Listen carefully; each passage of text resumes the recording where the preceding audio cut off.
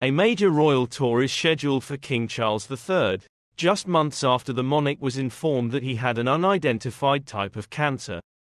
The 75 year old king is reportedly getting ready to leave for a 20 hour travel to Australia in early November and October. Australian Prime Minister Anthony Albanese has stated that they still intend to welcome King and Queen Camilla for the visit, even though his health may be a factor in the trip's cancellation.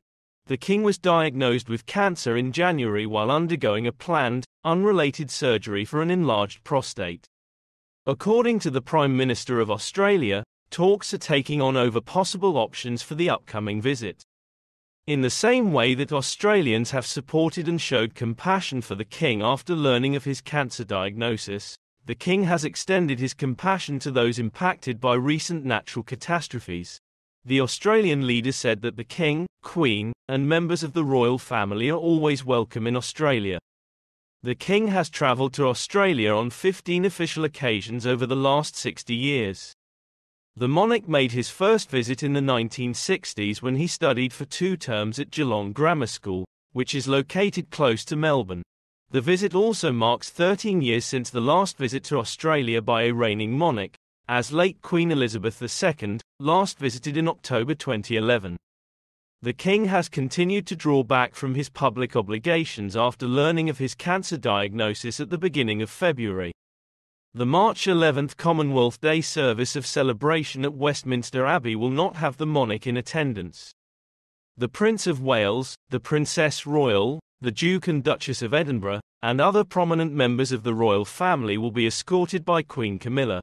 Bear in mind that Canadian Prime Minister Justin Trudeau, who is considered a good friend of the monarch, recently made an important video call with the king. A rush of behind the scenes tasks was completed by King Charles, who is still doing his duties as head of state from behind the walls of the palace. It is said that this was the first time Charles and Mr. Trudeau had spoken since Buckingham Palace revealed the king's cancer diagnosis. Charles spoke to a beaming Mr. Trudeau during the video chat. The two discussed global affairs and exchanged personal greetings from the King and the Prime Minister of Canada, who were seated in front of Canadian flags. Mr. Trudeau has a long-standing bond with the royal family. In his tribute to the late Queen described her as one of my favorite people in the world. As a young child in the 1970s, Mr. Trudeau met the late Queen several times through his father, Pierre Trudeau, who was one of Canada's longest-serving prime ministers. However, people are saying that the king should use this time to rest and avoid the media. Do you have the same thoughts? Let us find out in the comments.